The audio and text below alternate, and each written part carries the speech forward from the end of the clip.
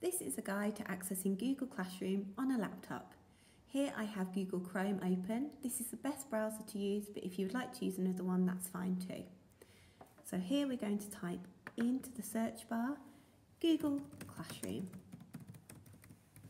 and press enter. You will then see classroom.google.com and we're going to click on this link. Here we're going to click on Go to Classroom. Now you will see you are at the sign in screen.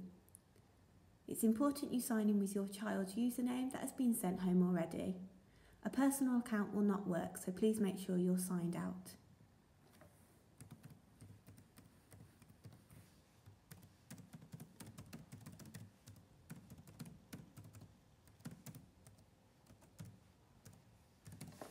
And press next. It's now important you type in the password and press next.